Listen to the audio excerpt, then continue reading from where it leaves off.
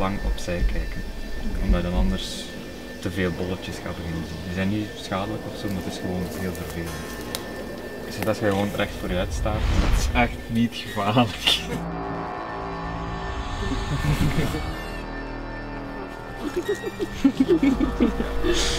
Oké, tot straks.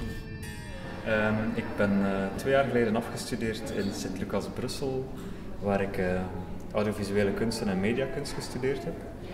En dan ben ik eigenlijk daarna direct begonnen met terug projecten te proberen te maken. Waarbij ik eigenlijk een beetje ook op zoek ga naar een eigen beeldtaal. Waarbij ik uh, ja, van alle dingen onderzoek na mijn studies. En ik tijdens mijn studies vooral heb gefocust op een combinatie van film en andere media. Zijn de performance, beeldende kunst, een beetje van alles door elkaar. En nu probeer ik eigenlijk daarop een beetje verder te gaan en mijn eigen weg verder te zoeken. Nee, het is, het echt wel gewoon heel interessant, omdat we met zeven mensen zijn die heel verschillend zijn. Uh, iedereen bekijkt alles van zijn bepaalde hoek. En dan zie je ook in de eindresultaten dat de voorstellingen verschrikkelijk verschillend zijn. Wat eigenlijk heel aangenaam is, omdat je dan ook met visies in contact komt die niet je eigen visie zijn.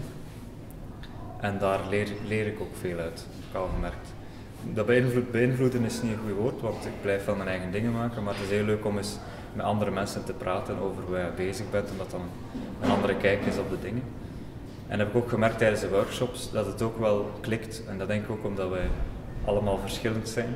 Dat er, dat er niemand echt in, zijn, in elkaars vaarwater komt, waardoor het eigenlijk wel heel leuk is om met elkaar te werken. een beetje naast elkaar te werken, maar dat is ook wel goed.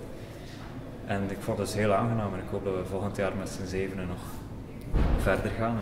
En ik ga eigenlijk nu een eerste test doen. deze, tijdens Oerol. Ik ga acht verschillende voorstellingen doen en dan één conclusie. Dus ik heb eigenlijk acht verschillende voorstellingen die ik laat zien aan verschillende mensen. Het zijn er niet heel veel, omdat heel exclusief is en omdat er maar bepaalde weinig mensen binnen kunnen. Want ik wou het namelijk s'nachts doen. En uh, vooral ook omdat ik hier als ervaring de nacht ook wel als iets heel aangenaam ook ervaar, maar ook een beetje ook wel spannend. En ja, het licht is hier altijd een beetje anders dan op het vasteland. En ik wou eigenlijk echt onderzoeken doen naar, naar de nacht. Nee, het is dus zo dat er iemand voor u loopt. Het is best dat je met gestrekte arm eigenlijk een jas of een schouder vastpakt van degene voor u. En dan kan je eigenlijk heel goed voelen als die persoon zich bukt. Voor een tak ga je gewoon meebukken. En um, die mensen die gaan bepaalde dingen meemaken. Ze moeten ook achteraf een vragenlijst invullen. Daaruit ga ik dan hopelijk dingen leren. En die gaan dan elke dag zal anders zijn. Ga ik daaruit leren, ga ik verder en verder tot wanneer ik eigenlijk de laatste dag van het festival ga ik een soort van conclusie voorstellen. En dan hoop ik dat ik daarmee iets ben om dan volgend jaar toe te passen op de volledige voorstelling.